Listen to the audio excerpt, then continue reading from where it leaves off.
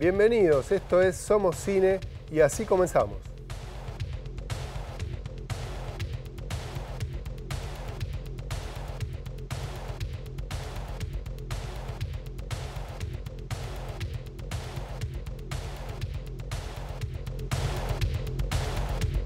Y el cine de Ken Loach siempre ha sido de un alto contenido social y político.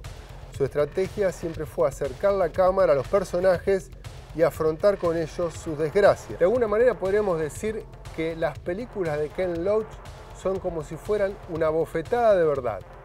Yes. Can I ask you a question? Are you medically Por primera vez en su vida, víctima de problemas cardíacos, Daniel Blake, un carpintero inglés de 59 años, se ve obligado a acudir a la asistencia social. Sin embargo, a pesar de que el médico le ha prohibido trabajar, la administración le obliga a buscar un empleo si no desea recibir una sanción. Ahora seguimos con más estrenos en la cartelera comercial. Eh, aguante la cumbia villera. Alta Cumbia es una película documental y musical. La trama se centra en Martín, que en plena crisis de 2001, luego de perder su trabajo en una productora, se va a vivir a una villa. Años más tarde, es convocado para hacer un documental de exportación sobre el origen de la cumbia villera. La película muestra una cumbia villera crítica y ácida.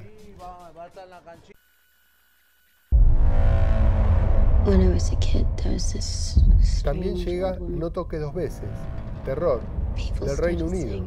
Una madre debe desvelar la terrible verdad que se esconde tras la leyenda urbana de una bruja.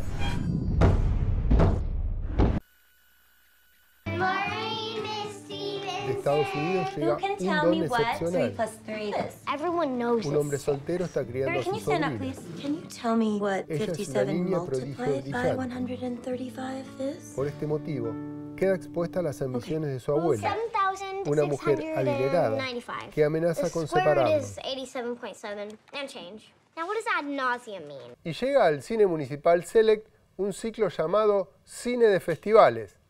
Está programado por el Instituto Nacional de Cines y Artes Audiovisuales.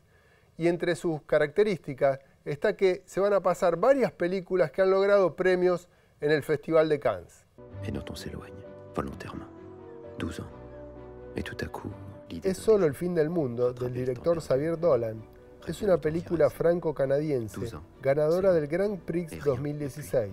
Tras 12 años de ausencia, un joven escritor regresa a su pueblo natal qui n'avait que 10 para anunciar a su familia que pronto morirá. frère, charmante à ce qu'on dit.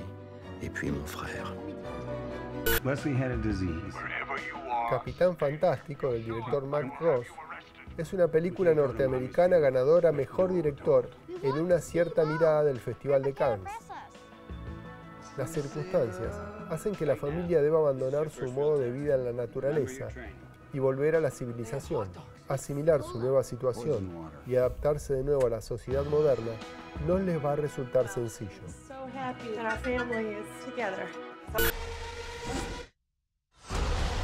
Invasión Zombie, del director Jeon Sang-ho. Un desastroso virus se expande por Corea del Sur, provocando importantes altercados. Los pasajeros de uno de los trenes KTX que viaja de Seúl a Busan tendrán que luchar por su supervivencia.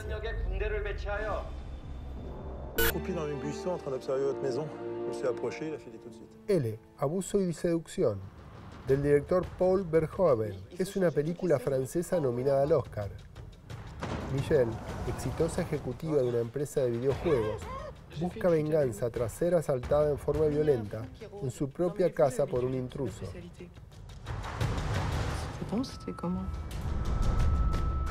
Y así terminamos esta edición de Somos Cine, un programa donde nos permitimos hablar del séptimo arte y de lo que nos interesa.